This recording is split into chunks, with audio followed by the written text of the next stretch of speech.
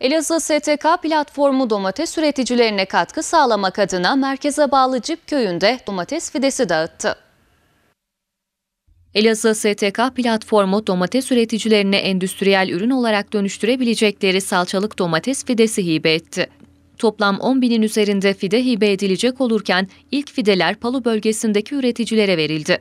Dönem sözcüsü Arslan, merkeze bağlı Cip köyünde dağıttıkları fidelerle üretime katkı sağlamayı hedeflediklerini söyledi. STK platformu olarak geçmiş dönemde e, eski dönem sözcümüz Servet Yaşar Özdemir döneminde başkanımız döneminde bir çalışma başlatmıştık. Köylümüze destek olmak açısından hem maddi hem manevi yanında olduğumuzu hissettirmek amacıyla bir çalışma başlatmıştık. Ve bu çalışma adım adım devam ediyor ve biz de yeni dönemimizde de bu çalışmayı devam ettireceğiz.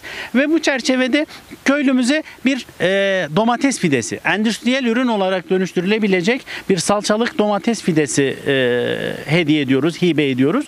Biz bu süreçte e, bu tabii köylümüzün ihtiyacını karşılayamayacak. Belki yüzde biri kadar bir miktar. Ama tanıtım açısından, bildirmek açısından böyle bir projeye girdik. Biz üretenin, mücadele edenin, haklının her zaman Allah'ın izniyle yanında duracağız. Öte yandan Elazığ STK platformu dönem sözcüsü Ergün Aslan, İsrail devletinin Filistin topraklarında Mescid-i Aksa'ya yaptığı saldırıyı da kınayarak sözlerine başladı. Bizim kafirle mücadelemiz, bizim zulümle, bizim zalimle mücadelemiz şu projeyle de olacak.